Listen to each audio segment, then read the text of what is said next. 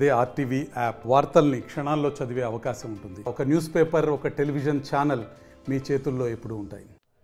ఈరోజు ఆదోని మండలం పాండవగల్ గ్రామంలో వలసలు ప్రారంభమైనాయి.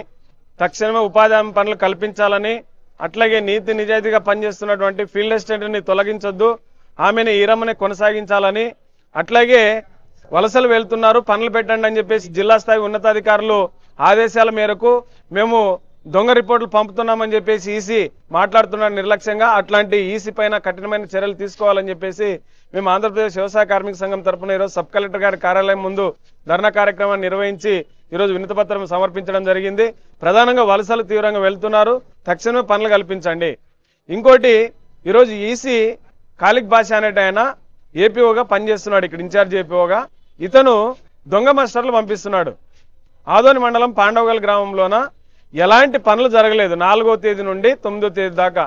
అంటే దాదాపు ఆరు రోజుల పాటు బాగా పనులు చేసినట్లు ఆ గ్రామంలో రోజు పనికి పోతున్నట్లు ఆ గ్రామంలో ఒక అతను పనిచేస్తున్నట్లు ఎవరో అంటే ఎక్కడో హైదరాబాద్లో ఉన్నటువంటి వ్యక్తి పంపారెడ్డి అనే వ్యక్తి పనిచేయిస్తున్నట్లు ఆయన ఫీల్డ్ అసిస్టెంట్గా కొనసాగుతున్నట్లు ఇక్కడ ఉన్నటువంటి అధికారులు రిపోర్ట్ పంపిస్తున్నారు. మరి ఇట్లాంటి రిపోర్టులు పంపించి దాదాపు నాలుగు వందల ఇరవై మంది పనిచేసినట్లు ఆ గ్రామంలో ఒకటే పనిచేసినట్లు చూపిస్తున్నారు. అట్లా మండలం మొత్తం మీద దాదాపు వారం రోజుల పాటు పద్దెనిమిది వేల మంది పనిచేసినట్లు ఆ రికార్డులు పంపుతున్నారు.